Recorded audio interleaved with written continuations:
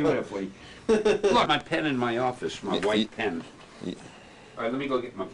You want to close the door in the meantime? This is for private use only, right? Yeah, right. Documentary, we'll ask your permission. Right. Because they're doing another documentary on Stan, Right, that, his name is Slime. slime. You know, This is the real one here?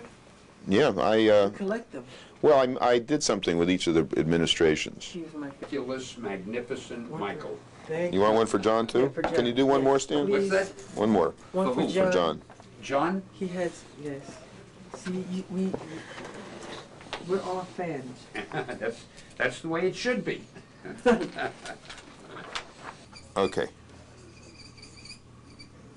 Uh, in my opinion, Stan Lee is one of the greatest of the comic book creators because unlike some of the others, he's the most prolific and he represents, he strikes a nerve in every youth. Um, he is the psyche of our youth. And um, I grew up watching his comics and it just tickles me so much to know that we are talking and working and planning to do something together. It's like a dream come true. And I think the characters that he's created will live forever. I mean, just there's no limitation to their life. And I just say thank you, Stan, for this wonderful, wonderful um, opportunity. Thank you.